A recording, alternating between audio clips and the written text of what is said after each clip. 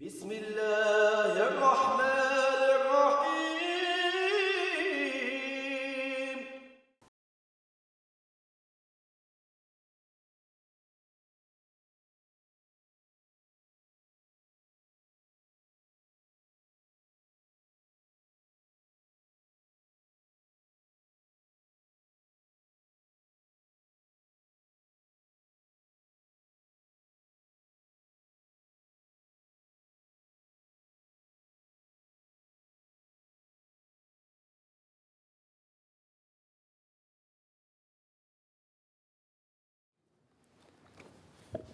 بسم الله الرحمن الرحيم.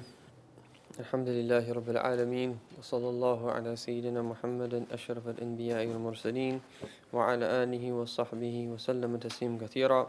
سبحانك لا علم لنا إلا ما علمتنا إنك أنت العليم الحكيم ولا حول ولا قوة إلا بالله العظيم. Alhamdulillah, all praise be to Allah subhanahu wa ta'ala. We've now reached about halfway through the noble month of Ramadan, that uh, the month of patience, and we only have a, another half left.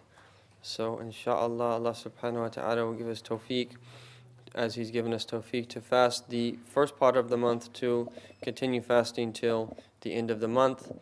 And inshallah, any type of jabr, any type of repair or uh, making up of things that we missed out on in the first 15 months, uh, first 15 days of this noble month. Inshallah, Allah subhanahu wa ta'ala bless us to rectify that in these last uh, two weeks. Uh, that we should renew our himma, renew our aspirations, and renew our intentions, and renew our uh, desire to benefit from this month in all of its different ways of benefiting inwardly and outwardly, because this month is an extremely, extremely, extremely important month. And so may Allah subhanahu wa ta'ala give us tawfiq to do that and to do what we can to give Ramadan its haqq and its right, although in reality that we never will ultimately give Ramadan its haqq and its right. But we can try. And hopefully Allah subhanahu wa ta'ala will enter the musi'een and the people who continually are doing uh, shortcomers in fi barakat al muhsinin, uh, in the barakah of the people of ihsan and spiritual realization. And they mention in terms of Hajj, there was one time a story of a man that he was making Hajj and he fell asleep and he saw a dream. And he, in his dream, uh, that he was told that only six people who made pilgrimage that year were, were accepted. The pilgrimage was accepted from them. And he woke up like, La ilaha illallah. Like there was supposedly in this year uh, that there was uh, 600,000 people that made Hajj. And he woke up in a state of qalaq and he was disturbed by this. And then he fell asleep again and he saw in a dream uh, that someone told him, and from the, the mercy of Allah, that he accepted for every one of the six, a hundred thousand. Right, so that it was accepted from all the people there that made Hajj, and this is the barakat al-idkhal al-musi'in fi barakat al-muhsinin, the entering of the uh, people of musi'in into the barakah of the people of ihsan and spiritual excellence. And so hopefully, just as it happened in Hajj, it also happened in Ramadan. So uh, there was a question that a brother had sent by email. I don't see the brother here, uh, but uh, maybe we can just postpone that. It was related to that the hadith that we mentioned uh, last week, uh, that if Allah Subhanahu wa Taala, uh, the one that if Allah Taala gives uh, someone uh, good character, uh, that never shall God make good the character and created form of a man and then allow him to be devoured by hell. Uh, that he had a question uh, related to this, and um, it doesn't mean that everyone. Uh, there's a proper understanding to it. It doesn't mean that if someone doesn't have uh, one of those two, that he's not going to go to paradise. And what it means in it doesn't mean that it's unconditional. It means that there is conditions to that, obviously, of them being iman first and foremost. And so it's just a special thing that uh, Allah subhanahu wa ta'ala has given, and, and without doubt there's a secret behind why Allah subhanahu wa ta'ala has chosen this to be the case. If someone has a good physical stature and good character, that He'll prevent that individual from the fire. And, and perhaps it's related to the beauty that is manifesting because any attribute of beauty that you see in creation is ultimately a manifestation of one of the beautiful attributes of Allah, in God. And so that if God manifests these beautiful attributes on an individual, inwardly and outwardly, it's a sign that He's going to manifest those beautiful attributes on this individual in the akhirah as well. And it also doesn't mean that the, there was people that uh, might not have a very pleasant look to them, but they could be from the in the a'la and be of the highest ranks. It's not just because of the way that someone looks. That doesn't necessarily mean uh, that they're not going to be close to Allah because in reality your, your physical stature, you, you don't have any control over that. Right? It's not going to determine you know, your rank with your Lord. And this is why one time uh, Abdullah ibn Mas'ud, who was extremely short, that they say like two arm lengths, right, which is like a meter high, so like two arm lengths high. And he was very skinny, and he was a shepherd. And he's the one that when he came to the, uh, the head of Abu Jahl, that he was so small that he swung with the sword. He couldn't even cut the head of Abu Jahl off. It stopped. Right? And so when Abu Jahl said, no, cut my head here. Right? So that when you bring it to Muhammad, that he'll see my head is, is big. Alhamdulillah and then um, one time he was climbing a tree, and some of the companions were laughing at him and at how skinny his legs were right? And then the Prophet ﷺ said that those legs are weightier than Allah, than the mountain of Uhud, right? And so it's not about physical stature. In reality, it's about uh, one's rank with their Lord Subhanahu wa Taala. Uh, and so that that just uh, needed to be uh, clarified in relation to that. And he also had a question about the Ashur Mubashirin bil Jannah.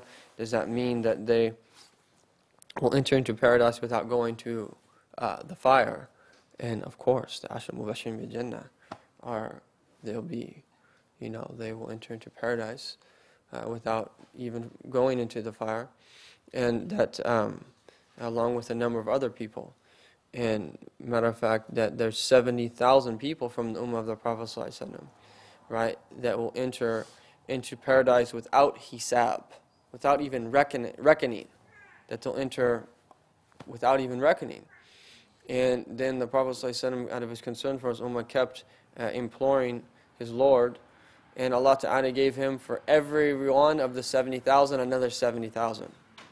So 70,000 times 70,000. Right? Allahu Akbar.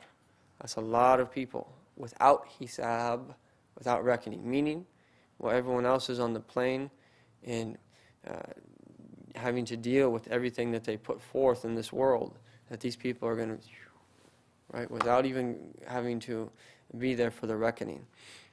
Allah subhanahu wa ta'ala uh, make us be from them, inshaAllah. So we finished last week uh, talking about the, uh, the different ahadith of the expo- exposition of the merit which is in having good character or in, a condemnation of bad character. And we reach the narratives, which is how it's been, uh, Sayyidi Abdul Hakim Murad has chose to translate it athar. And we'll try to get through this chapter in this and then the following chapter. Now, this chapter is somewhat technical, and so we'll try to limit the commentary and just try to get through it because it's a, uh, somewhat long. And then the point of this chapter is to give us an understanding about what is good character. When we talk about good character, how do you define good character? What is the reality of good character? Right? What are the fruits of good character? How can we determine the difference between the reality and the fruit? And to give us a basic understanding of all these specific attributes that are going to be mentioned to us later on. Because the way Imam Ghazali does this, this being the third quarter, the Ihya having four quarters, as we previously mentioned, that he gave in the first chapter about the wonders of the heart, just talking about the heart. And what is this heart of the individual? What is this inner aspect of the individual that we're going to be dealing with? And then he gives, an, in this book that we're studying, about disciplining the soul, these disciplining the soul, basic principles. And then what he's going to do after making that clear is just talk briefly about the the two, the kasra shahwatain, the two different uh, desires that, that in breaking them, and then he gets into specifics about particular vices, right? Beginning with takhalli, right, and ridding yourself from uh, things that are not pleasing to Allah. And then in the second and the last quarter with tahalli. And about mentioning to you all these beautiful things that the human being is uh, supposed to uh, adorn himself with. And there's an indication of takhalli and tahalli uh, when Allah subhanahu wa ta'ala says, إِنَّ اللَّهَ لَا يُغَيِّرُ مَا بِكُمْ حَتَّى يُغَيِّرُوا مَا بِأَنفُسِهِمْ Allah ta'ala won't change the condition of people until they change the condition of themselves. Right? Meaning that there's takhalli and tahalli. Allah won't change their condition, right? And put them and give them yuhallihim and adorn them with beautiful characteristics until they what? Change their own condition. Right? And changing your own condition is takhalli. Is getting rid of the bad things that are holding you down. And then Allah subhanahu wa ta'ala giving you the other things is tahalli and, and giving you the adorning you with the beautiful aspects. And so the narratives. He mentions here uh, Luqman the wise once asked his father, Father, what is the finest single trait in a man? Religion, he replied. Then he asked, And what are the finest two traits? Religion and wealth, said he. And finest three religion, wealth, and modesty. And if there should be four, religion, wealth, modesty, and good character. And if there should be five, he, and he replied, religion, wealth, modesty, good character, and generosity. And if there should be six, oh my son, he replied, when these five traits come together in a man, then he is pious, he's taqi and pure, naqi, one of God's servants, lillahi wali, and is quit of shaitan. Woman is shaitan, bari. Right, shaitan will have no power over the individual if he has these attributes. And Hassan said, A man of bad character punishes his own soul, meaning he will at'abaha, punish his own soul, that he'll tire his own soul out. Right? If someone has bad character, he's only harming himself. Right? And that's the, that's the thing about the hasud. Al hasud la yasud. The person of envy, right, will never rise. Uh, and, and the thing is, is that if you have, if you have envy towards someone, what envy is, is you want that blessing to remove from him. But what you don't realize is, is that by you having that envy, right, you're not affecting the situation anyway. Right? You're not preventing him from getting that ni'mah. Rather, what by you having envy, he's getting your hasanat. Right? So you you're the, the hasud right, is only harming his own soul, right? That he, one, is harming his own soul in terms of he's not allowing himself to spiritually rise, but two, that very thing that he wants to be removed from that individual, that person's going to be increased. so he's not going to, he's, it's not going to benefit him in any way. Anas bin Malik said, A bondsman can reach the very highest rank in heaven through his good character without being a man of much worship and can reach the lowest region of the inferno of Jahannam through his bad character, even though he should worship abundantly. As we, this is a hadith with a similar meaning that was related previously in last week. Said Yahya ibn Mu'adh, in an expansive character lie the treasures of provision. SubhanAllah, show for the way of the people of Busira in inner sight. Busira is more important than the Basar.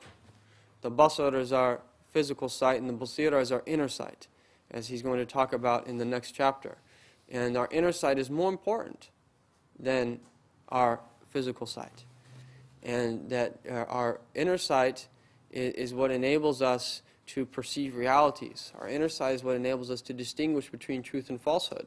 Our inner sight is more important because someone could have no, he could be blind outwardly, but Allah subhanahu wa ta'ala has opened his heart. And so that he sees with his heart. But if someone's blind in their heart, then they appear like they're seeing, but they don't see. Right? What does Allah say? Right? That it's not the eyes that go blind, rather it's the heart that are in the breast. Right? It's the qulub latif sudur.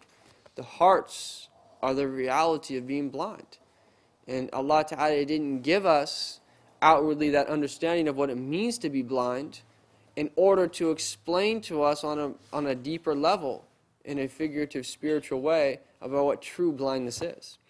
And so he said, in an expansive character lie the treasures of provision, meaning he was seeing the correlation between being expansive. One of the names of Allah is Al Wasi, the vast. the expansive. And so what he's saying here is you can be expansive in terms of your wealth, right? You can have takhallaq bi akhlaqillah in this instance, that it's one of the sunnahs, for instance, the day of Eid, on the day of Muharram, and other days during the year, that you're extremely generous to your family and to your children, right? At-tawsi' al-iyal. That at-tawsi' is the second form. Wassa'a yuwassi'u.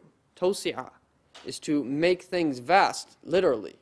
But how do you make things vast is, right, other times of the year, oh, you know, we just can't do it. We have to save our money. We have to think about our future. But on those days, let, let the reins loose a little bit, right? Give them what they want. Your child asks you for something, give him what he wants. Take him out. Be extra. Uh, have extra generosity on those days. And you can also be expansive in terms of your character, right? That uh, expansive in terms of your character, even if you don't have money right? As that previous hadith that we took last week, that you can, ha- by having good character and not being stingy with your own character, that you can encompass other people. And what he's saying here is, is that in an expansive character lie the treasures of provision, meaning that Allah subhanahu wa ta'ala will provide generously for the person who is by his nature generous. God will provide generously for that person because of his doing that, this was what the result is. If you're generous with your character and with your wealth, Allah will be generous with you. If you're stingy with your character and your wealth, right? Allah subhanahu wa ta'ala, we won't use the word stingy, right? But He'll yaqbid. He's al-qabid and al-basit, right? He's the one who, uh, the, the qabid, the one who contracts, and He's the basit. He's the one who uh, expands, subhanahu wa ta'ala. That Wahab ibn Munabbih said, the man of bad character is like a piece of broken pottery, which can neither be patched up nor returned to clay. Just imagine the pot just, right? No way you're going to get that pot back to, put back to back together. And, and then and that, that clay that's already baked, right? You're not going to get it back to dirt in its original form. That's the likeness of someone who has bad character. Al-Fudayl ibn Iyad said, The company of an irreligious man of good character is preferable to me than that of an ill-natured man much given to worship. SubhanAllah, show his fiqh and his understanding. He'd rather be in the presence of someone who has good character, even if he doesn't have much worship, than someone who's an abid and worships Allah a lot but doesn't have good character. That um, so did they? They don't have the books yet, huh? Did they? They didn't open up. It's still closed. Okay. That Ibn al-Mubarak was once accompanied on a journey by a man of bad character and treated him with forbearance and politeness. When they parted, Ibn al-Mubarak wept. Upon being asked why he did so, he replied, I weep out of compassion for him. I have left him, but his character is still with him and has not departed from his company. Look at the way people were. Uh, we don't even cry about our own states. When was the last time that we cried about the state of someone else. He wept for him because this person's character was still with him. Because these are people, the more and more you realize the realities of things, the more and more you're impacted by things that you see. The more and you realize the severity of things. Junaid said, Four things lift up a man to the highest degrees, even should his knowledge and works be insubstantial.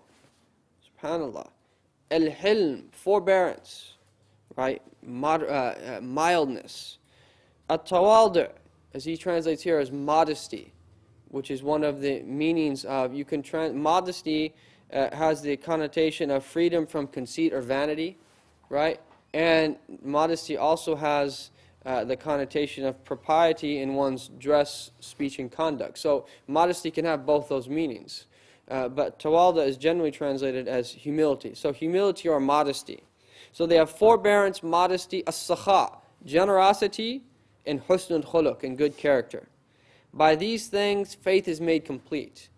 And this is why that you'll see that the companions of the Messenger of Allah sallallahu who were many, some say 124,000, others say 160,000, others say you can't mention a specific number of how many the companions were because they spread out throughout the lands. You don't know exactly how many they were. But how many of them had memorized the Quran? How many of them were scholars? How many of them, only seven of them, even narrated more than 1,000 hadiths of our Prophet? Then what about all these other companions? That we understand that our Prophet testified that the best of pe- the best of generations was his generation.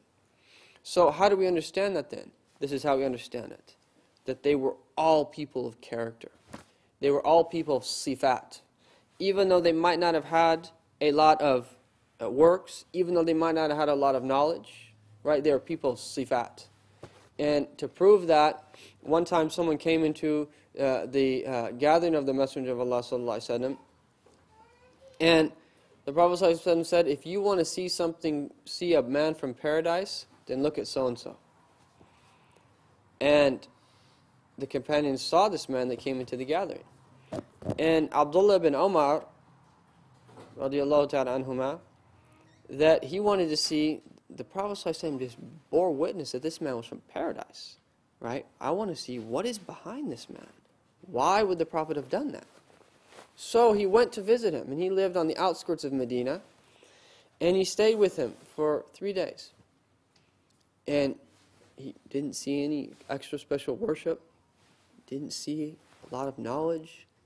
He couldn't understand, like, why would the Prophet ﷺ have bore witness like this when this man appears to be a very normal person? You know, he prays his prayers and doesn't, it just seems like a normal Muslim. Right? And then he, there's a conversation where he uh, explained to him what he had done and why he'd come to stay with him and so forth. He said, I can't think of anything except that every time that I go to sleep at night, right, that any grudge that I have in my heart for a Muslim, I take it out of my heart. So I don't sleep at night having a grudge or anything in my heart towards any Muslim. Allahu Akbar. That's a sifa. That's an attribute. That's a character trait. Right? He didn't have a lot of knowledge or action. But the Messenger of Allah وسلم, testified that that individual right, was going to be from the people of paradise. Attributes, character. Al-Kittani said, Sufism is good character. At-tasawwuf khuluq. So anyone who improves your character has improved your Sufism also. Right? At-tasawwuf khuluq. فَمَنْ زَادَ عَلَيْكَ فِي الْخُلُقِ زَادَ عَلَيْكَ فِي التَّصَوُّف. That what it means is all of tasawwuf is about character. And so whoever surpasses you in good character has surpassed you in tasawwuf. Omar said, radiallahu anhu, deal with the common people on the basis of good character and differ with them with your deeds.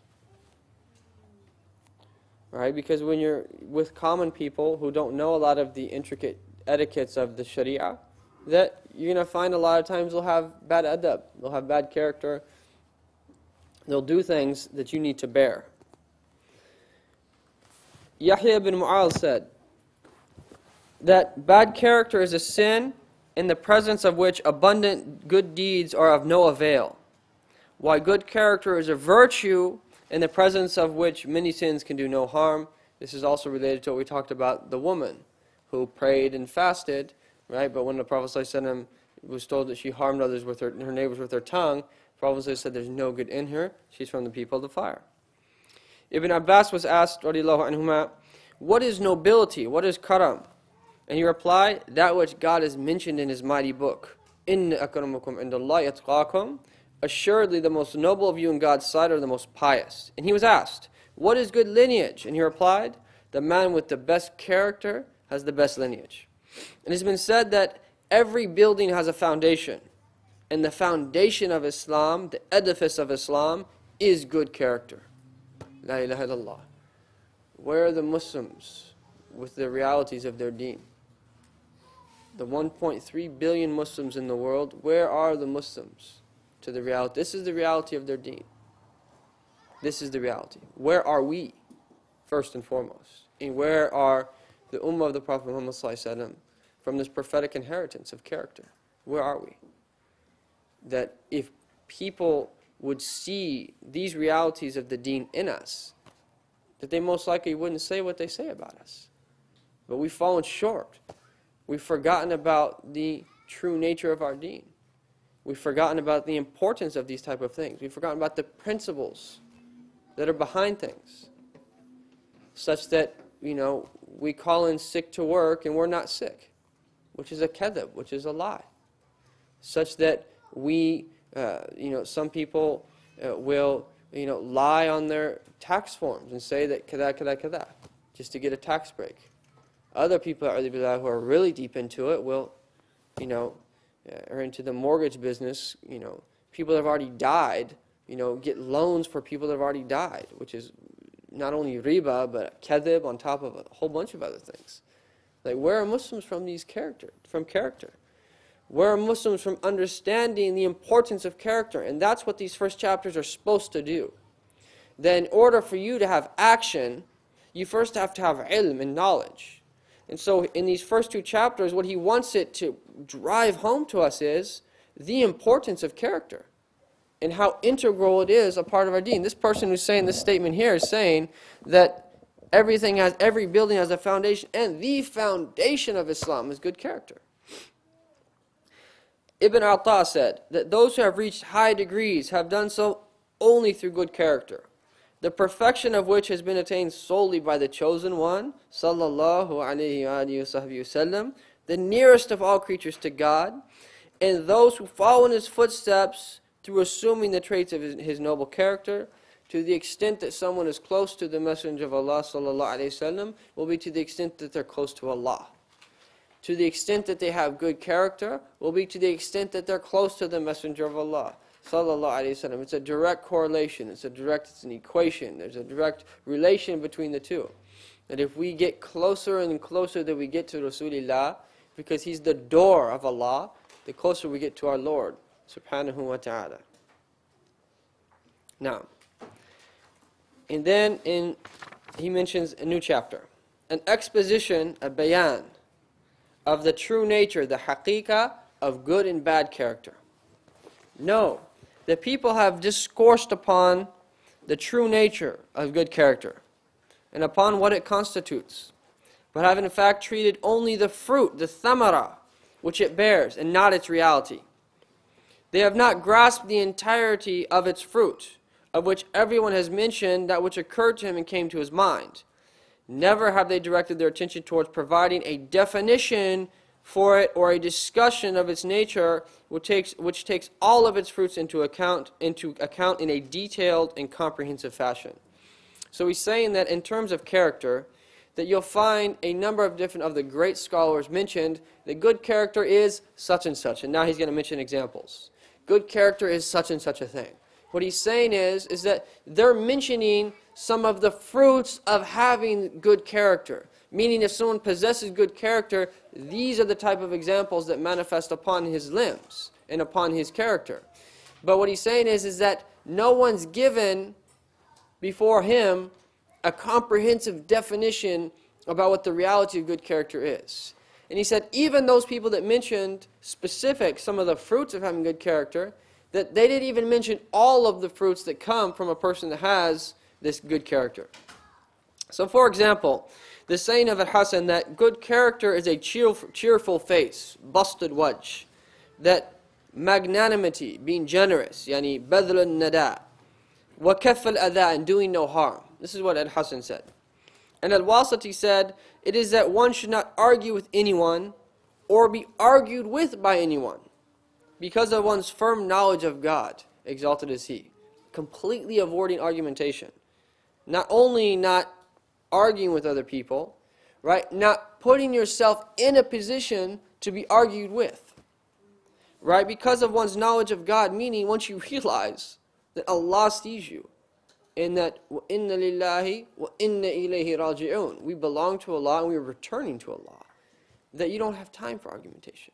You don't have time to put yourself in situations where people are going to waste your time about talking about things and just, just wanting to argue and because of the disease that's in their heart. And he said, Shah al Kirmani said, that it is to do no harm and to endure, and to endure harm instead. Right? To don't harm anyone else, but when other people harm you, that you endure it and you bear it.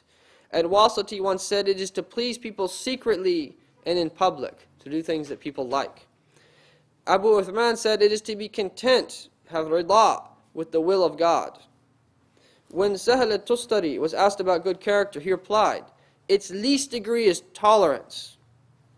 Right? Ihtimal, bearing other people's wrongs. Tark al-mukafa'a, seeking no reward. Compassion and pity for the wrongdoer. Ajib. Right? The zalim. And asking God's pardon for him. He's saying that's the least degree of good character. If there's a zalim, right? And that's something that you always know. A zalim and someone who's oppressor, that uh, Allah subhanahu wa ta'ala doesn't love the zalimeen, obviously. Allah doesn't love the people of oppression or of tyranny or of wrongdoing. But no matter how much wrongdoing someone does, you have to distinguish between hating that wrongdoing that he's doing and him in his essence. That no matter how much someone does wrong, right, you still have to have doors of mercy in your heart opened up to that individual. Even if you're speaking about how this person's a zalim, he's oppressed so many people and so forth, right, you still have to have mercy, compassion and pity and asking God's pardon for him on top of all that. He's saying that's the least bit. That's the least stage of good character. Then what is the, the end of the good character? And he once said, It is that you do not direct accusations at your Lord concerning your sustenance. That you don't you, you trust in him in terms of what he gives you. And that you trust in him, being confident that he shall provide that which he has guaranteed you. It is that you obey him, but do not transgress against him in any of your affairs, both in that which is between you and him, and that which takes place between you and mankind. And Ali, Karram Allah wajha said, Good character consists in three traits avoiding that which is forbidden, seeking that which is permitted, and being generous to one's family. That Al Hussein ibn Mansur al Hallaj said, It is that you should be unaffected by the harshness of mankind after having beheld the truth. La ilaha illallah. That once you are a spiritual person whose heart's in the divine presence, right, that you'll see everyone, no matter what anyone does, is that you'll see it being from Allah. You won't see it being from that individual. And seeing it being from Allah is one of the keys of having good character. Because then you won't get caught up in the element of the nafs. Right? Such that if someone harms you in some way, and there's, the nafs is still there, the inclination of the nafs is, right, is to, right, just do that thing back. But if you arise above that state, where you saw this was from Allah, despite the ignorance of this individual, right, to test you in some way, right, then khalas, there's a clean slate down there. You're not going to feel those normal things that come to the nufus that people uh, normally have. Aywa. That finally, uh, Abu Sa'id al-Kharraz said that it is that you should have no concern, himma, but for God. There are many statements of this nature. But they all treat of the fruit of good character, not its essence. Neither do they succeed in even in encompassing all of these fruits, since to unveil its true nature is more important than to cite various sayings on the matter. We shall proceed with our discourse as follows. Creation, khalq and character, khuluq, are two expressions which may be used together. For, we say, for example, that so and so is good in his creation, hasan al khalq, he has a good physical stature, and his character, wal.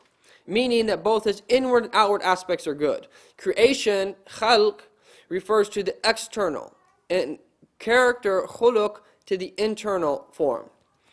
Now, man is composed of a body which perceives with ocular vision, sight, and a spirit and soul, a ruh and a nafs, which perceive with inner sight, which is basira.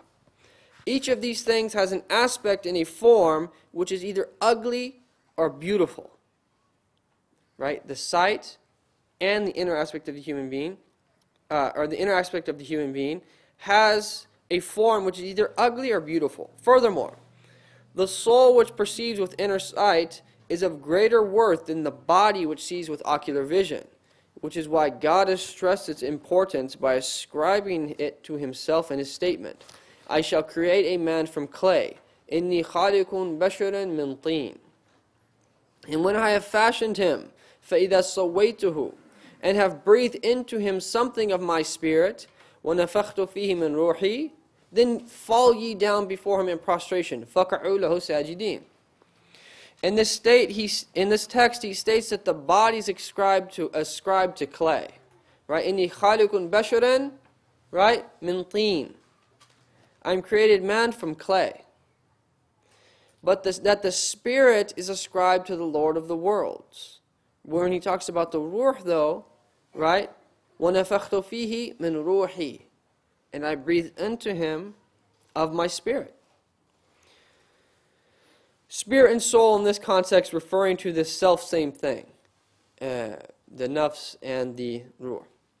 A trait of character, then, is a firmly established condition of the soul from which actions proceed easily without any need for thinking or forethought. Everyone should write that down. That is the definition of good character.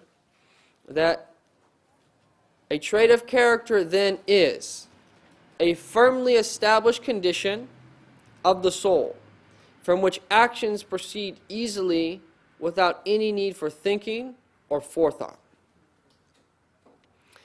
If this condition is disposed towards the production of beautiful and praiseworthy deeds, as they are acknowledged by the law, the Sharia, and the intellect, it is, it is termed a good character trait.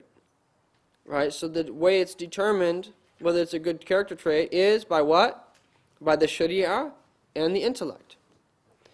And the intellect, it is termed by good character. If, however, ugly acts proceed from it, the condition is known as bad character trait. We describe this condition as firmly established, rasikha, because the character of a man who gives some of his wealth rarely and under transient circumstances cannot be described as generous, since the attribute has not become firmly established and fixed in his soul. Right? As our Prophet said, Al-ilm bit-ta'allum wal-hilm.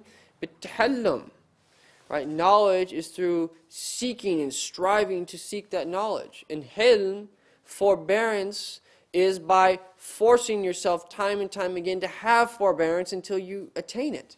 And striving time and time again until you attain it. So there's tahallum is before you're going to be a person who's halim, Right? You have to tatahallam. You have to try to become halim. Unless you are blessed, and some people are, to have the be forbearing even naturally from their character, which some people are. Uh, and likewise with the other characters, character traits. That if it's still hard for someone to give out, right, he's not determined to be Kareem yet.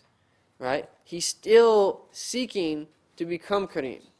So what he's saying here now is, is that as long as someone is still striving and only gives out, for instance, his wealth in some occasions or rarely, that person is not Kareem.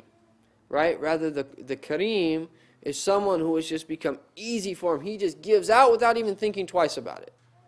Right? If there's a need or a situation comes up to show that generosity, before he even thinks about it, he gives it out.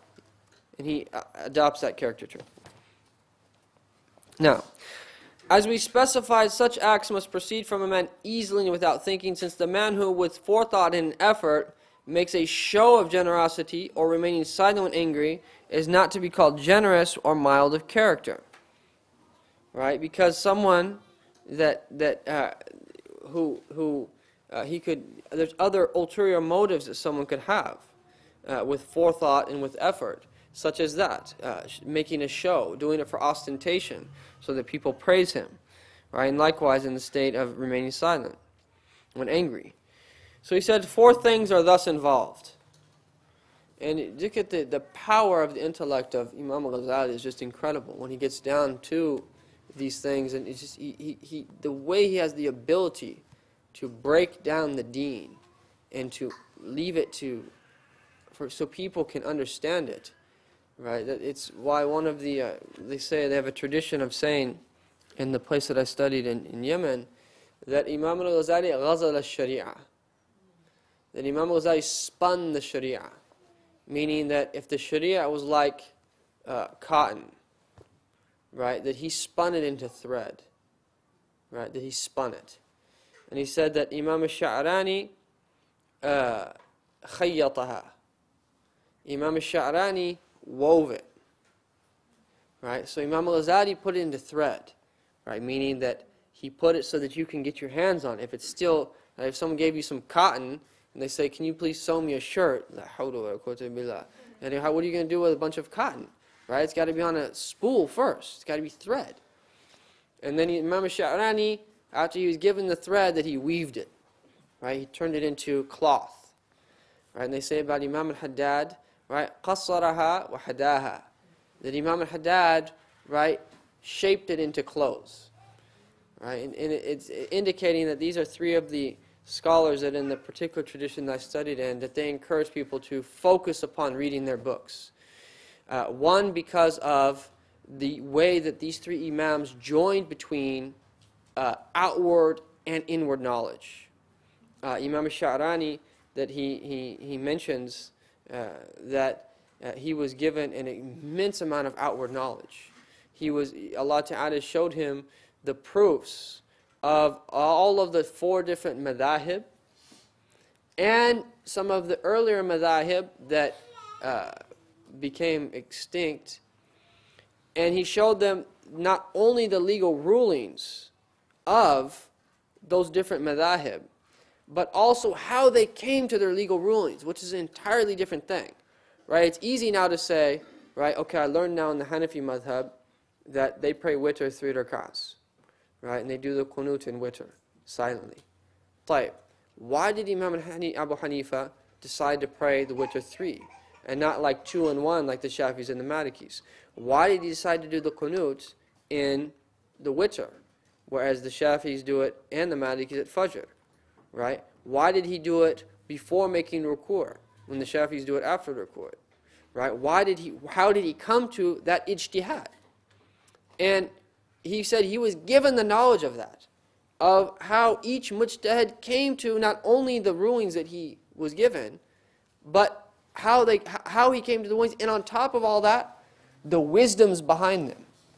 And hopefully, if Allah Ta'ala extends our life, that's something that we want to do maybe next quarter.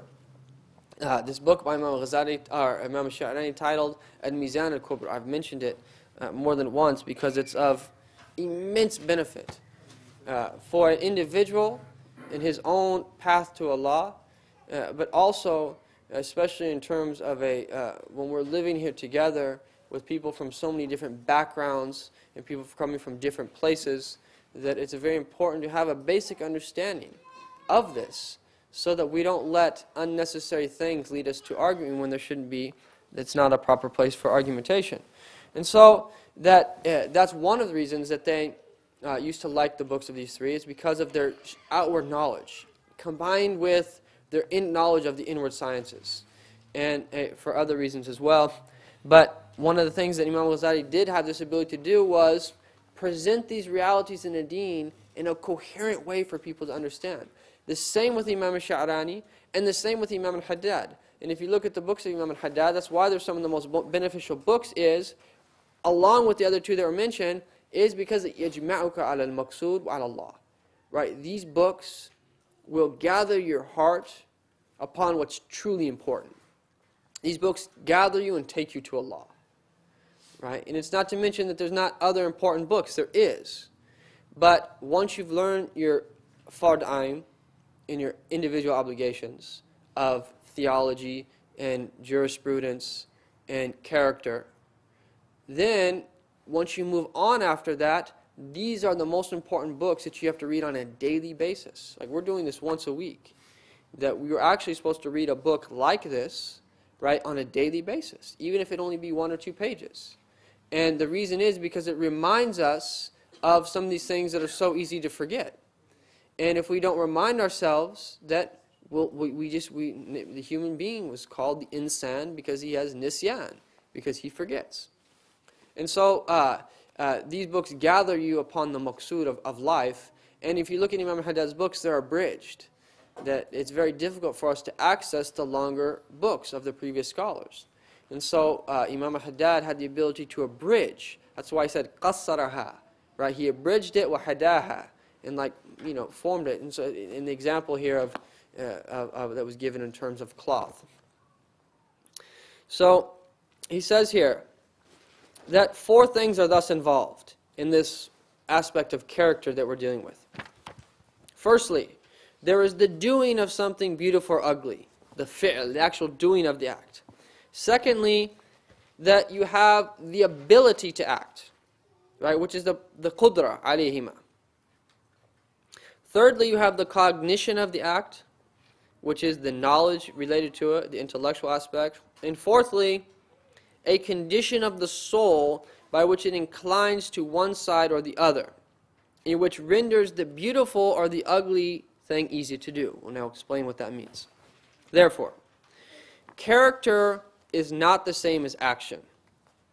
There are many people of generous character who do not make donations from their wealth, either because they have none or by reason of some other obstacle. So, just because someone doesn't have wealth, right, doesn't mean they're not generous, right? They could be much more generous. Or because of some obstacle. And I think we mentioned in the prophetic characteristics class last quarter the story of one of the Imams uh, in Hadramaut, Imam Abu Bakr al-Adni, who was known for being extremely generous. That there was a scholar that came to visit him, and he asked what kind of meat the scholar likes, and he, and he happened to like the heart of the animal. I know it sounds a little strange, but and they don't waste a lot of meat. They don't waste a lot of the food like we do here. Like I only can eat the breast or the I can only eat the arm, and you know there they eat, mashallah, yani they, they, actually, the delicatessen is the head. And um, so this scholar came to visit Imam Bakr Adni, and he happened to particularly like the heart. And this Imam slaughtered 50 goats and just took out the heart and served the scholar a plate of heart, 50 hearts. And the scholar comes and sees it. La ilaha illallah. Right? This is israf. Right? you it's not permissible to you know uh, spend your wealth like this way and to waste your money like this. And uh, Imam Abu Bakr Adni uh, uh, said to him through his kashf, he didn't say that outwardly, he read his heart.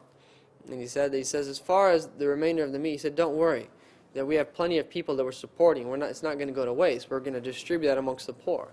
Right? And he says that as far as uh, you, he says that you're a person of knowledge, right? And I, I hear what I did by slaughtering 50 goats and giving you the heart which you like. I've honored knowledge, and you've told me that I've done something that I shouldn't be doing.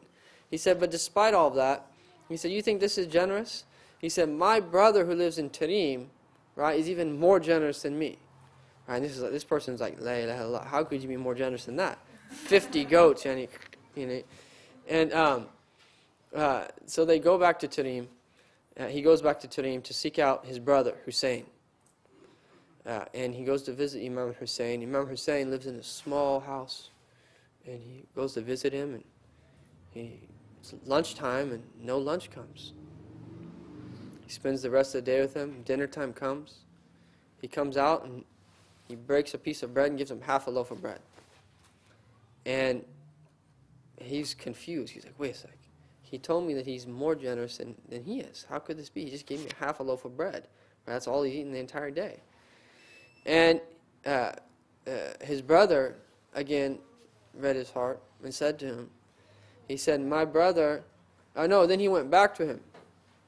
And uh, he said to him, yeah, he's more generous than me. He says, as far as me, I have a lot of wealth. The percentage of the wealth that I gave you, the what I gave you compared to how much I have is a very small percentage. He said, That loaf of bread that my brother gave you, that's all he had. So he gave you 50% of his wealth. Right? So he said, Which one, who's more generous? Someone who gives 50% of their wealth or someone who gives you know, 2% of their wealth? Obviously, someone who gives 50% of their wealth. So what he's saying here is character is not the same as action. You could have someone who's generous but just doesn't have money to give, or there's some other obstacle preventing him from giving. Just as there are people whose character is avaricious, right, who are miserly or greedy, but who distribute their wealth for some motive or other, or out of ostentation in the interest of their reputation. And so that person is not considered to be generous if the reasons behind his giving aren't in accordance to the Sharia. Neither is it the same as ability. Right? What? Character. Character is not also the same as the ability. Since this does not differ whether it is ascribed to withholding or giving, or to the opposite two opposite traits. Ability is ability. It's not related to that character. Every man has been created by, to be by disposition capable of withholding and giving. Yet this does not necessarily bring about an avaricious or a generous character. Right? We, the possibility to give or withhold is in each one of us. Right? But that ability that we've been given, right, is not character in of itself.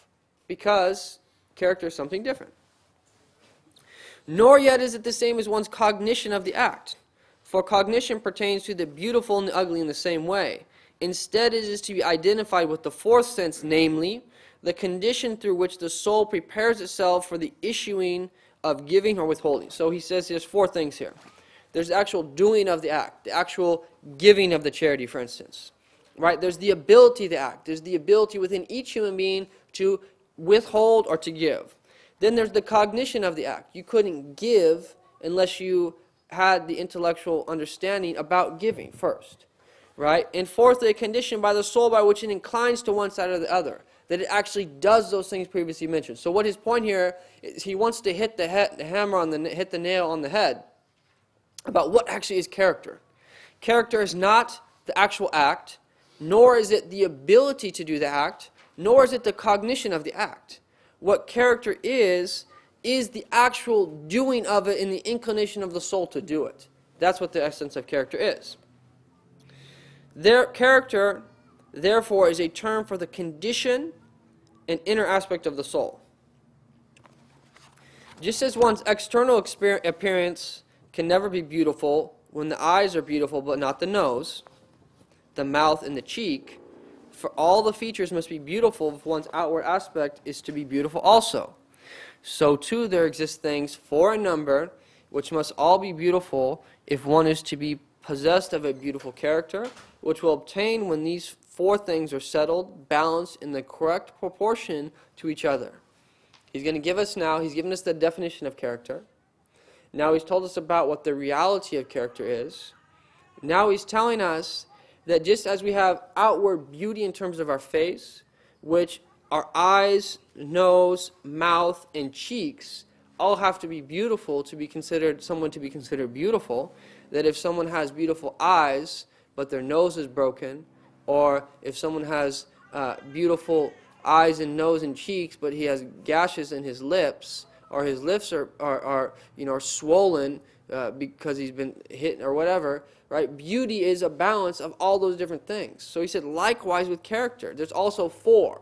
Just as the face, there's four. The inner character, the inner face, there's four. What are these? These are what are called the rational faculty, the quwwat al-ilm.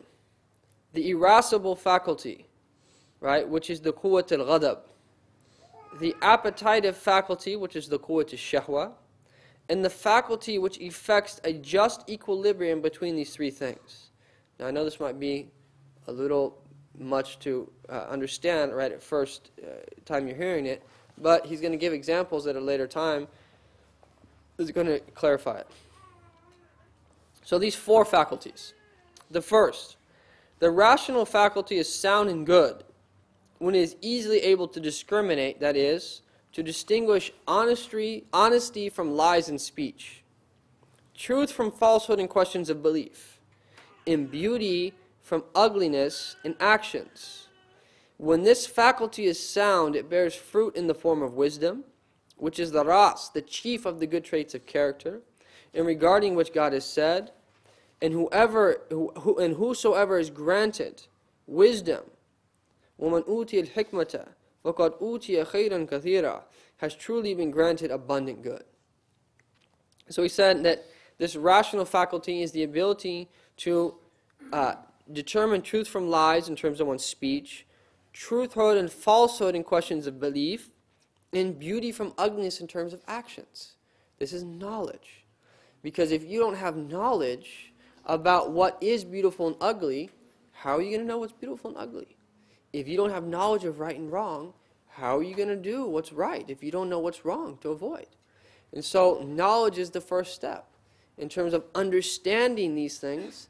And that's as I say, true wisdom is not determining right from wrong. Right? That's fairly easy to do for most people.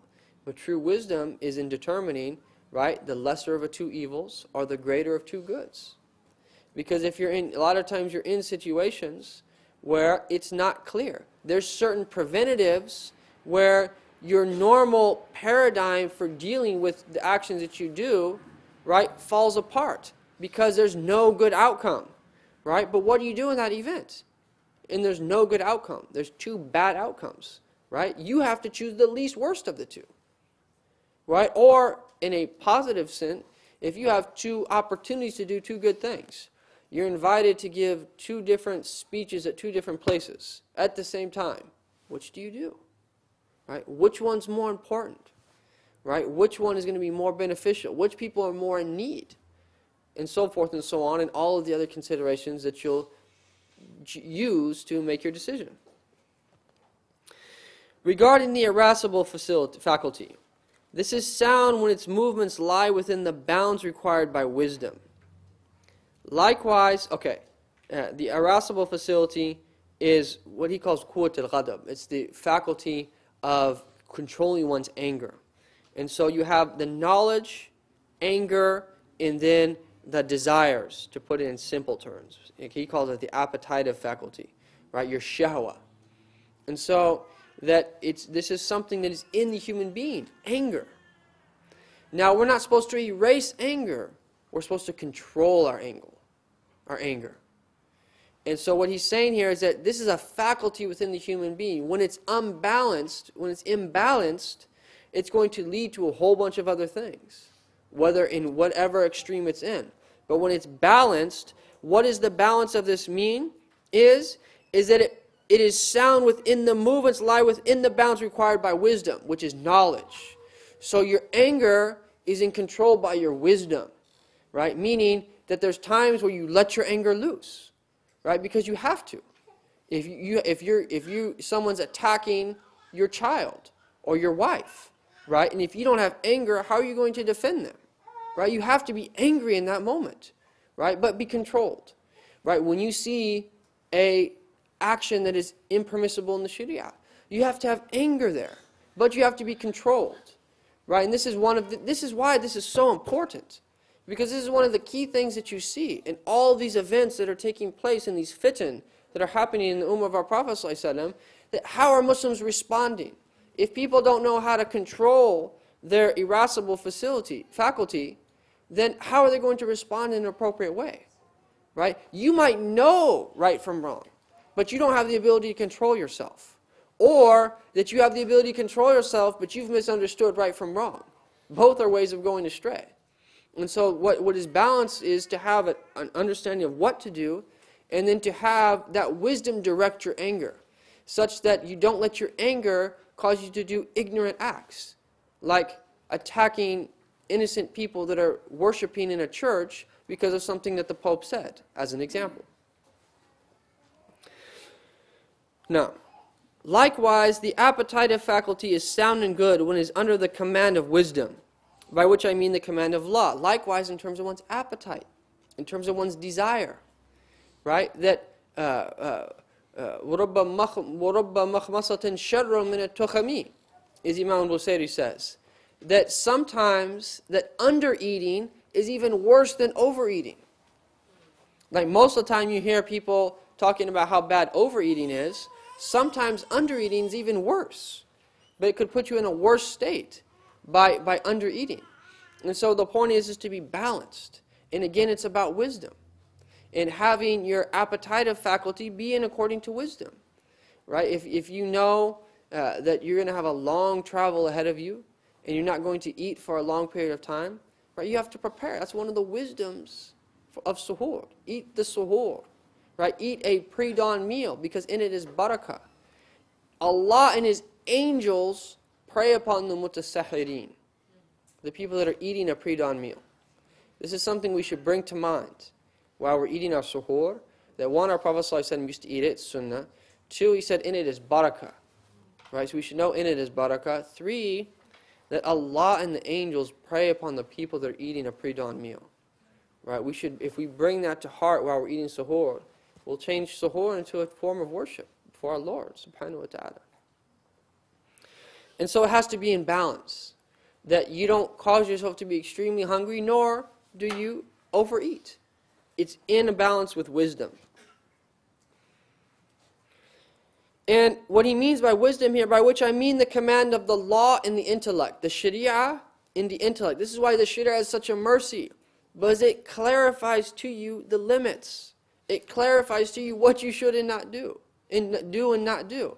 It clarifies to you the uh, it clarifies to you the range of actions that you can do.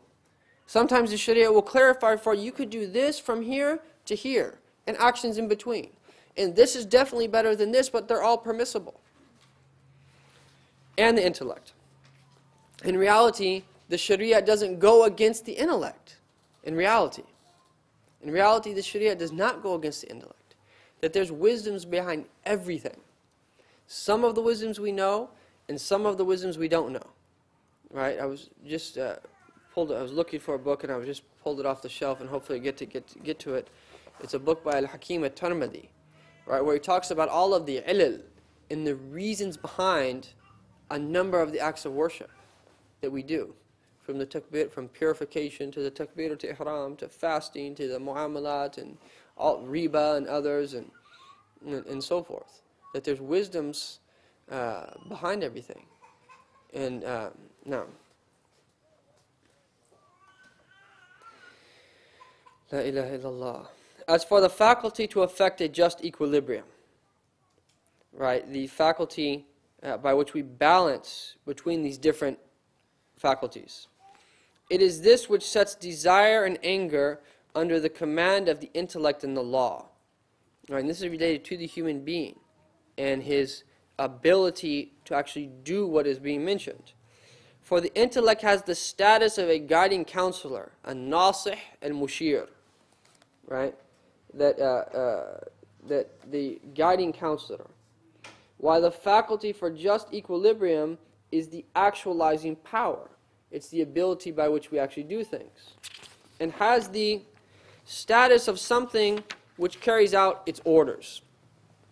The same command is carried out by the irascible facility, which is like a hunting dog, which needs to be trained before it's unleashing, and restraint can conform to orders rather than to the outburst of the soul's desires. So next time you you know that your neighbor's dog is rough roughing and bothering you and barking, that just think about you know that dog might be annoying in the Shafi madhab, it's najis, also in the Hanafi madhab, but right? Your soul might be more dog-like than that dog, right? If you're just barking and it's out of control, right? You might be more like that dog than that very dog in reality. If you can't control your anger, that's what you're like, is a dog. Even worse than a dog. Because a dog is just being a dog. You're a human being that's been given a brain. You're not supposed to be acting like a dog.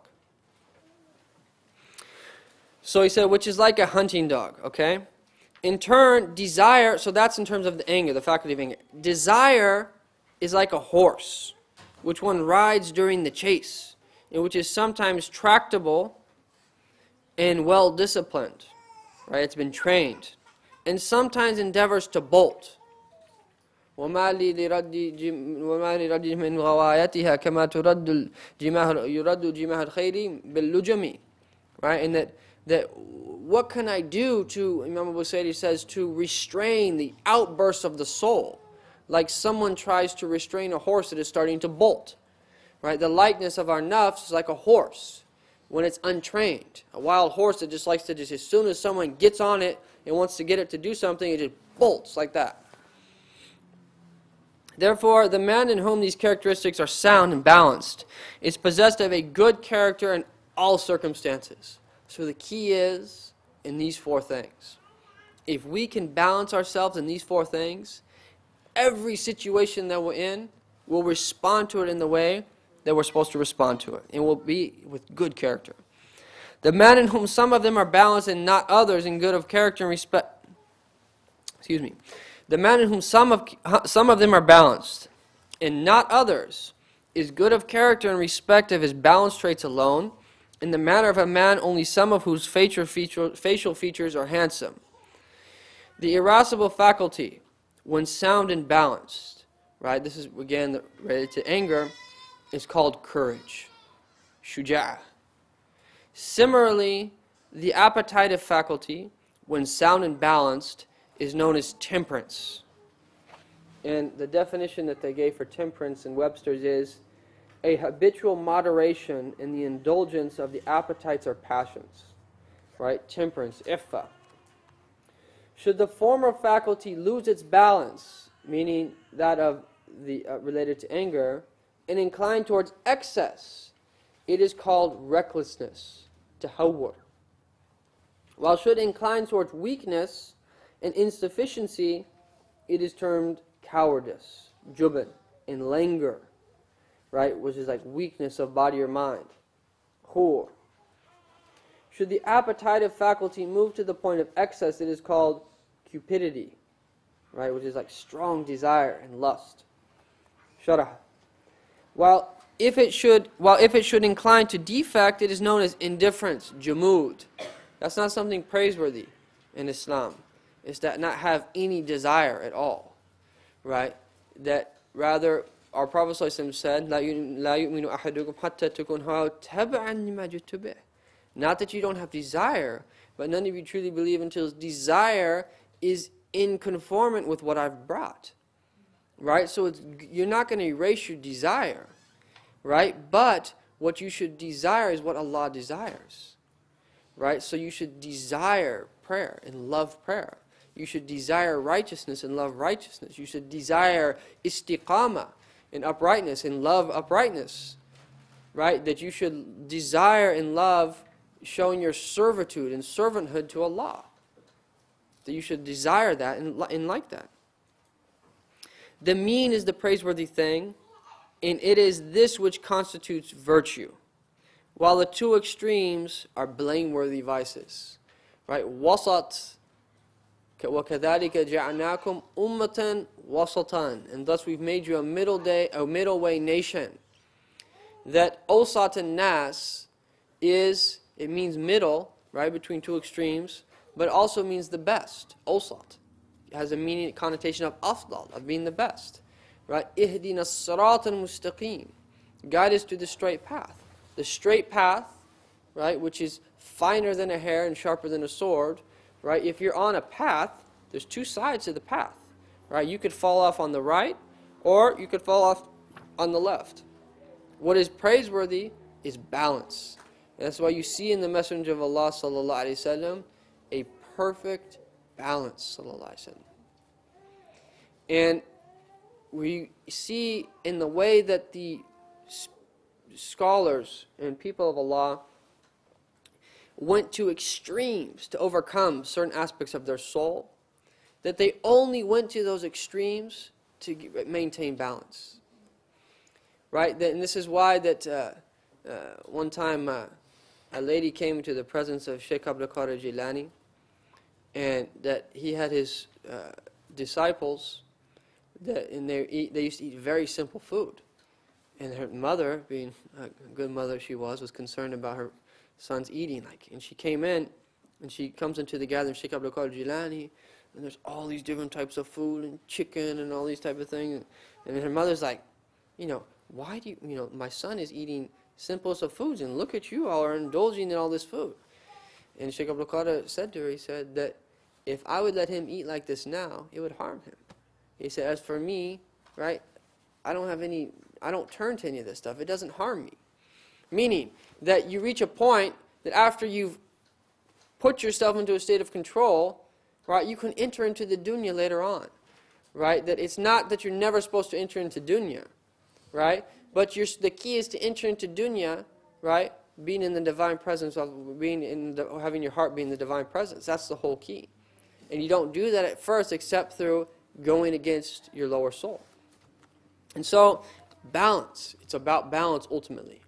And that's why you see is that our Prophet ﷺ, right, was the most balanced of people. Right? How many rak'ahs did he used to pray every night for tahajjud ﷺ? Right? What was the way that he used to distribute his time? ﷺ? Look at his life. and how balanced it was. Right? He didn't have to initially strive to maintain that balance. Right? Not only was he created with that balance, sallallahu alaihi wasallam, he was the determining balance for balance for every human being that's ever walked the earth. Right? He was the essence of balance. Right? And that's why that some of the scholars say, I believe it's at Hassan al-Basri, when Allah says, Ihdina sirat al-mustaqim, right? Guide me to the straight path. They say the sirat al-mustaqim is Muhammad sallallahu alaihi wasallam. He is the sirat al-mustaqim. He is the straight path. And there's an indication of that also when Allah says, وَأَنَّ هَذَا صِرَاطِي مُسْتَقِيمًا هذا is an ism ishara. هذا الكتاب. This book. Right? And it's as if Allah is saying, أَنَّ هَذَا Right? Referring to the Messenger of Allah, sirati, my straight path. Right? He's referring to the Prophet ﷺ in a, a tafsir ishari.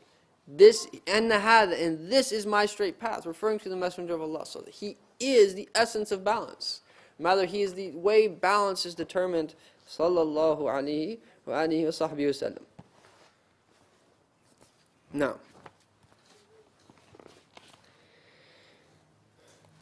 the faculty for just equilibrium, however, when in disorder, has no extremes of excess and defect, rather has one opposite, which is tyranny. As for wisdom, exceeding the bounds in its regard by using it for corrupt ends is called swindling and fraud, while its insufficient application is termed stupidity, bala. Again, it is the mean to it is uh, again it is the mean to which the word wisdom is applied. Therefore, the fundamental good traits of character are four in number wisdom, courage, temperance, and justice.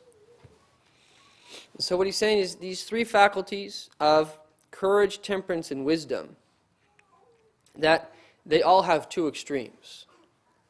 And each extreme will lead to a number of uh, blameworthy characteristics, which he's going to talk about. As for the faculty of equilibrium, right, which is related to our choices that we make in all of this, is that there's only there's one of two things. Either it's balanced or it's in a state of disorder. Right? And this gets back into the nature of the human being. Wal asri innal insana lafi khusr. That by time human being is in loss. Illa wa salihati. Except those people who believe and do righteous deeds right? وَتَوَاصَوْا بِالْحَقِّ وَتَوَاصَوْا بِالصَّبْرِ And enjoin one another to patience, uh, to, uh, to truth and patience. So meaning that if you don't occupy yourself with good, you will fall into evil. That if you don't actively and you're not proactive in balancing and maintaining this equilibrium of these other three faculties, right, it will be in a state of disorder. You have to have that output. If you're going to go up, right? You need to have, you need to ex expend energy if you're going to progress. That's all there is to it. In the same way, in terms of spirituality, that the moment that you stop, right, you're falling. And that's why Abu Hassan al-Basri said, he said that Allah subhanahu wa ta'ala has not given the believers a raha, a repose, a relaxing, a relaxation, any state of relaxation until they reach paradise. Right? They have no time to relax. Now, I'm going to explain that. For people coming out of a six hour work week, what do you mean I can't relax? I have to relax. No. What it means is, is that in terms of your taqwa, you can never relax. You can't just say, you know, I've prayed now for 20 years. I think I'm just going to take a breather from praying for a few, for a few months just to get, you know, you can't do that. Right? You can't just say, you know, I've been so obedient for so long, I'm just going to commit a few sins and just relax a little bit. No, that's a mistake. That's a misunderstanding. You always have to maintain your taqwa every single moment you're in life. Now, that outwardly letting yourself take a vacation or relaxing, right? The human being has to relax because, as we mentioned before, for anyone who attend our classes, that the nafs of the human being is like his riding beast. It's the, it's the, the nafs is what gets you from point A to point B. And so, if you're riding on an animal, like they did in the old days, that you can't just ride 24 hours a day, right? You have to stop at about 11 o'clock, right? Wait till the sun gets past the zenith at about 2 o'clock, 3 o'clock, start riding again. You have to relax, or else you're going to kill your animal. And you're going to overburden your animal. Likewise, in terms of our nafs. But the difference is, is that even when you're relaxing, it's with intention. Right? So in reality, you're not letting go of your taqwa. In reality, that you're not falling into those people that are in loss because you have intention behind what you're doing. What is your intention? Is that when you relax, right, like in Tarawih, in many places, after every four rakahs, right, they wait for like 30 seconds to a minute, right, to get it, right, to regain yourself, right. Intent in that not to just enjoy the relaxation, right, but to strengthen yourself when you're about to stand on prayer again. When you go on a vacation, when you relax and, and, and, do things to, uh, uh, that are permissible, right, then do it with the intention of strengthening yourself so when you come back to ibadah, right, that you're focused. And that's the whole point, is that when you do your ibadah, is that you're focused. And someone who exhausts himself night and day and never relaxes, and thus it causes him to not concentrate his ibadah. Better than him is an individual who actually stops worshiping and does a form of permissible thing and then gets back to worship with concentration. That's even better. Now,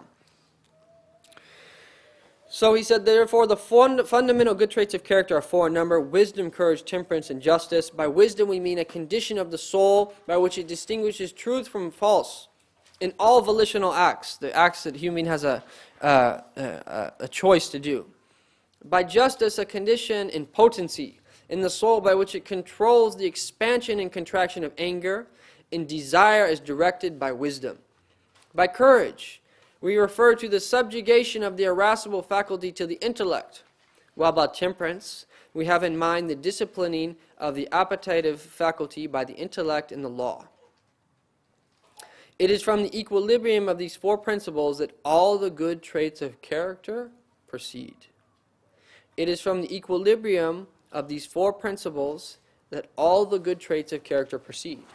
Since, when the intellect is balanced, it will bring forth discretion, husn tadbir, an excellence of discernment, jawdat al-dhihn, penetration of thought, thaqabat al-ra'i, and correctness of conjecture, isabat al-dhan, and an understanding of the subtle implications of actions and the hidden defects of the soul.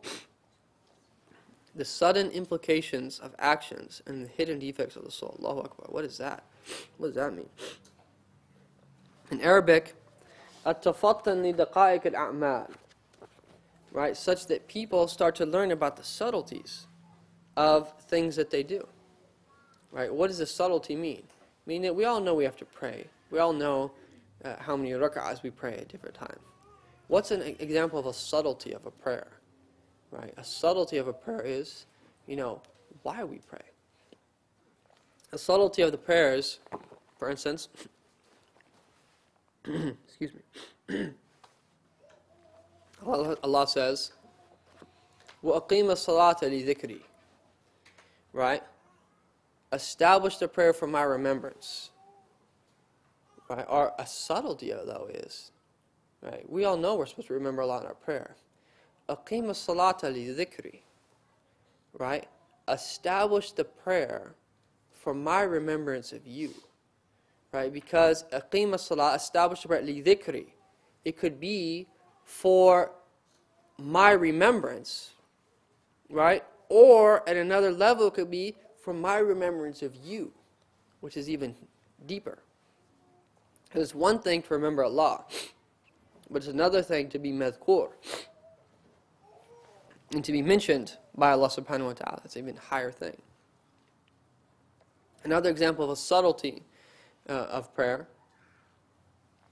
is related to, you know, some of the afat and the pitfalls that come from praying, such that one related to one's sincerity. Why is one praying, right? And testing yourself in certain situations to find out: Am I praying for Allah, Or am I praying for so and so who's watching on? Or am I praying for so and so to uh, give me such and such a thing? So there's subtleties. And this is, this is through knowledge and through the balance of wisdom, or in, of all of these, uh, that, that from the balance of, uh, int, of the intellect, that this comes clear.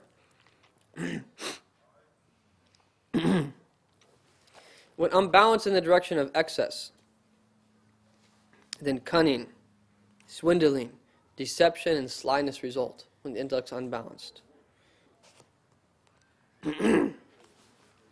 that someone who has a strong intellect and learns how to manipulate other people can do it very easy. It's very easy to manipulate people, especially when people don't realize they're being manipulated. It's a science you can study and learn how to manipulate other people. There's certain things that you can do towards other people to get certain responses from them. And if you're using it for to get their money or because you want them to become a consumer or you want them to do something for you or a'udhu billahi ta'ala, right? You're setting yourself up for a extreme punishment from Allah subhanahu wa ta'ala. Right? But if you use your intellect to beautify to people certain things, right? To tell them about the beauty of Islam in a way that they're going to understand. Right? You know that this individual has such and such a background, and you're explaining Islam to them in a way that they understand, right?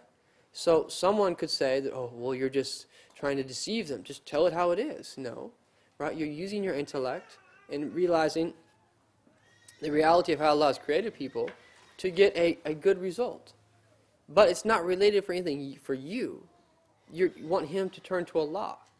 In the other situation, right, there's negative attributes there. Wanting to do something for you, wanting to oppress people, wanting people to have control over people, and all these type of things. These are attributes of rububiyah, of lordship.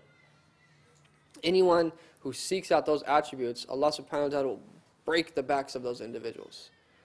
You know, and so, so these type of people that, that try to, you know, intentionally, you know, dumb people down and intentionally do things to get a certain response from them. Nasallah salam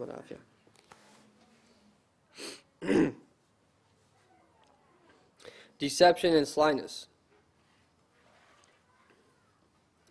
and when in that of defect and stupidity, inexperience, foolishness, heedlessness, and insanity are consequences. By inexperience, I mean insufficient experience which is nonetheless combined with sound understanding. A man may, may be inexperienced in one matter and not in another. The difference between stupidity and insanity is that the intention of the stupid man is sound, only his means of realizing are defective since he is not possessed of a correct understanding of how to follow the way leading to his goal. The madman, on the other hand, chooses that which should not be chosen, so that the basis of his decisions and preferences is flawed. So that's in terms of wisdom. As for the trait of courage, this gives rise to, it means it leads to nobility, karam, intrepidity, right, which is, uh, uh, which is nejda, right, which is resolute fearlessness, being able to help people even if there's some uh, harm that might come to you in doing so. Shahama, manliness, manliness, greatness of the soul, endurance, ihtimal, clemency, hilm, steadfastness, thabat, the suppression of rage, kadhm al Allahu Akbar, dignity, waqar, and affection, and such other praiseworthy qualities. So, meaning if someone has courage, it will lead him to have all of those other attributes. As long as his courage is shown under, is, is under the direction of wisdom and the intellect. When unbalanced on the side of excess, which is recklessness, it leads to arrogance, conceit, quickness to anger, pride, and vainglory. It went on the side of defect, defect to uh, ignominy, self-abasement, cowardness, cowardice, meanness, lack of resolution, and holding oneself back from doing what is right and obligatory. As for the quality of temperance, this, rise to genera- this gives rise to generosity, modesty, patience, tolerance, contentedness with one's lot, scrupulousness, wit, helping others, cheerfulness, and absence of craving. When it deviates towards excess or defect, greed, cupidity, and obscenity result, as do spite, extravagance, stinginess, ostentation, immortality, obscenity, triviality, flattery, envy, malice, self abasement before the rich, disdain for the poor, and so forth. We got a lot to work on. There's a lot of defects there. And subhanAllah, that's a lot to work on. But the thing is, is that, that if we, we have to start becoming aware of these things. And if you try to become aware and be conscious, and it's very difficult to be conscious of the acts that you do, which is why Imam Ghazali is going to mention, he's going to have a chapter on the four ways to determine, uh, to attain good character. But if you do everything you can do, all those four things that Imam Ghazali mentions, and you make dua to Allah, really turning to, to Allah, feeling impoverished before Him, Allah Ta'ala will guide you. He will, he will take it upon Himself to purify you, right? And He loves. Well, in the in Allah yuhibbat tawabin wa yuhibbul mutatahirin. He loves the people that are seeking purity, and He'll love you. And if Allah loves you, that it's possible that in one night you wake up in the morning and they're all gone. That's possible. That if you, and that's what they say, is that this is why that it, it was fitting that we had the prophetic characteristics class before this. Because the love of Allah and His Messenger, right, if that's in the heart of an individual, it yuhrik. It burns all blameworthy characteristics. And that's why it's one of the quickest way to attain them. If that's there, right, all these things will become easy.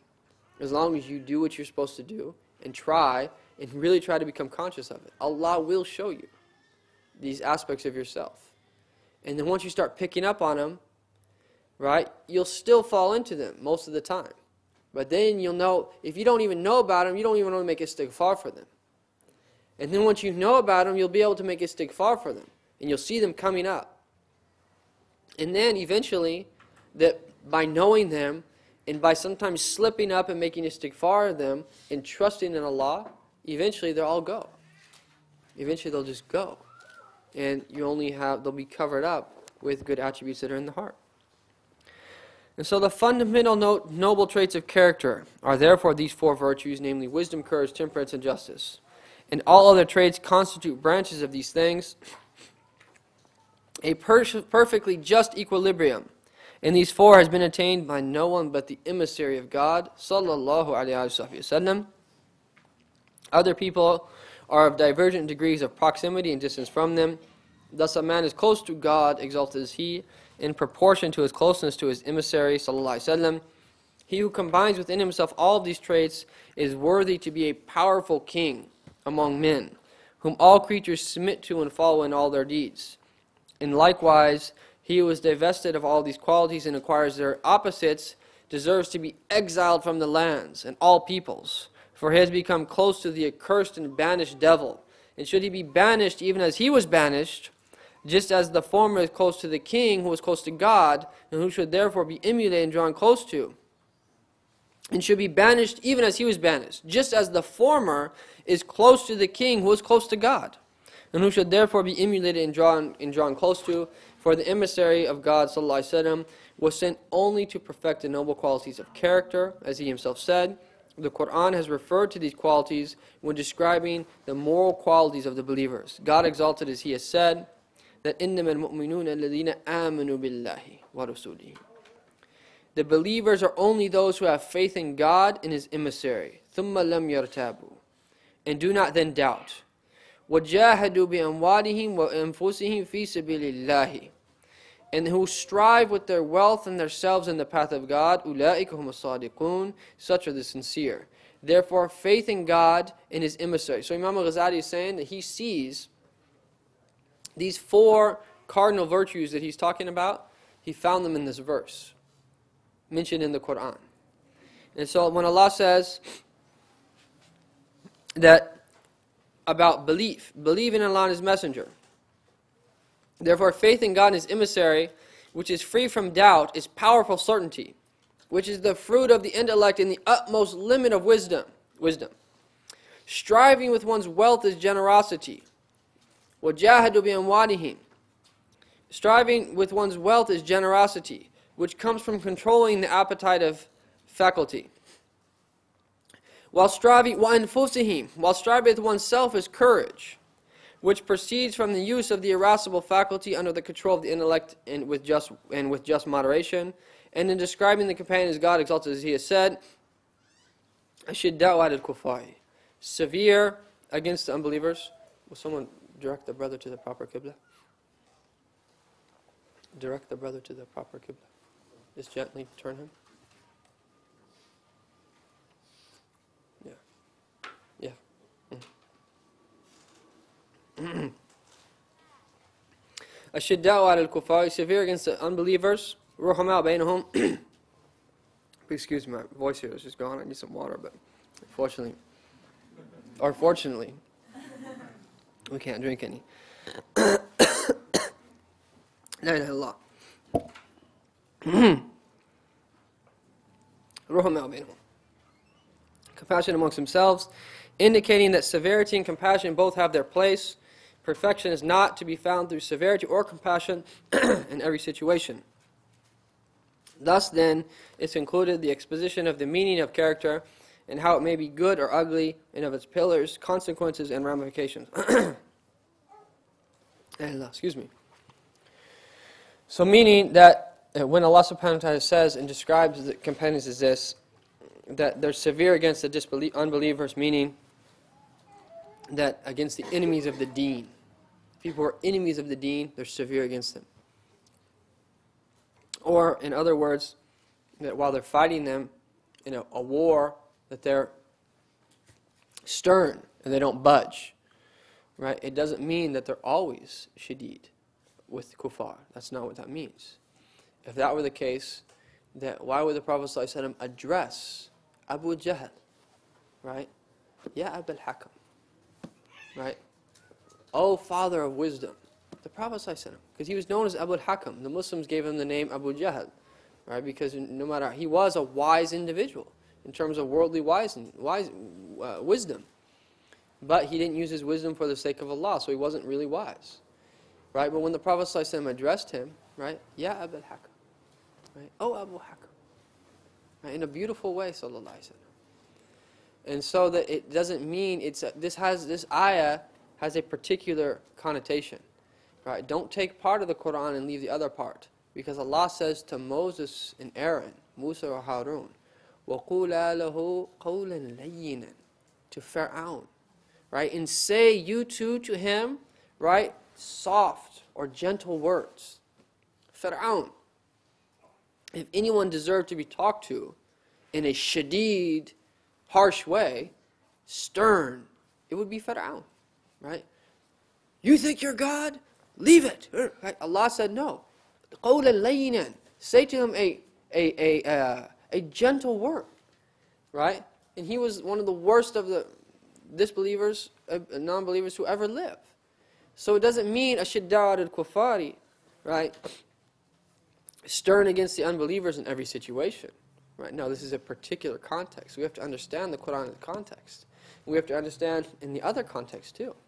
And we have to look at the seerah of our Prophet ﷺ and see the way that he was with other people and how beautiful his character was. And everything has its proper space and everything has its proper place. And the more that we study and the more wisdom that we have, then the more that we'll be able to find that balance, uh, exactly as Imam al-Ghazali is saying, so may Allah subhanahu wa ta'ala bless us all in the ummah of our Prophet Muhammad and spread these character traits amongst the ummah of our Prophet and bless us with attributes of wisdom, courage, temperance, uh, and justice, and bless us to be people who have their rational faculty, their irascible faculty, and their, uh, the, their, uh, their rational faculty, and the irascible faculty, and the appetitive faculty, and the faculty which controls all of those other three to be in perfect balance, inshaAllah, to the extent humanly possible, and ultimately be from those people who have good character in this world and are close to the Messenger of Allah وسلم, as a result. And may Allah subhanahu wa ta'ala bless us all and assist us in the remaining months of Ramadan. bless us to have increased himma and nashat and, uh, want to do more ibadah for Allah subhanahu wa ta'ala prepare us for the last 10 days and bless us all to reach later Laylatul Qadr and to have all of our fast sins forgiven and to be from the Suwam and the Quwam. Wa sallallahu ala sayyidina Muhammadin wa ala alihi wa sallam. Walhamdulillahi rabbil alamin